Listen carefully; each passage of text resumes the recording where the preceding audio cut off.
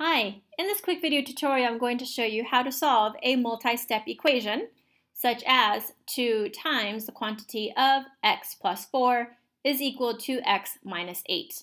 Notice this equation has variables on both sides of your equation. Let's go ahead and get started. What do you think is the first step that we could use to solve this equation? If you need a hint, try this. Distribute the 2. Use distributive property to distribute the 2. 2 times x is 2x. 2 times positive 4 is now positive 8. The right side of the equation stays the same, x minus 8. Notice there are variables on both sides of the equation. What will we do to gather all the x variables on the same side? Here's my hint to you. Gather the x variables on the left side.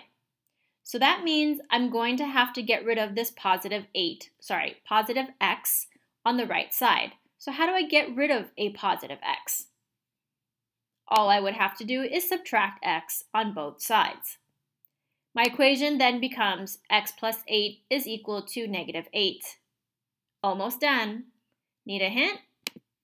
Get the constants on the right side of the equation. And in order to accomplish that, we would have to subtract 8. So our value of x is negative 16. So out of these three choices, one solution, no solution, or identity, which one would you select? I hope you chose choice A, one solution. And if you did not solve this correctly and maybe you thought it was B, you would have seen this. If you would have chosen C, you would have seen that as well. I hope that helped. Thanks.